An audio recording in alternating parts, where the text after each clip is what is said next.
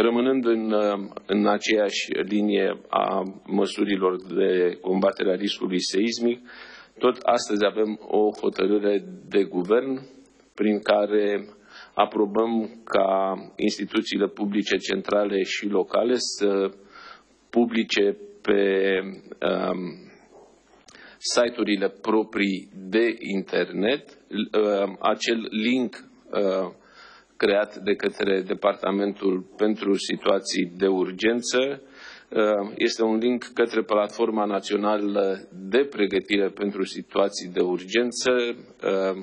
Se numește fipregătit.ro este uh, o decizie pe care am luat-o pentru a facilita accesul la informare, accesul mai ușor la informare a tuturor uh, cetățenilor.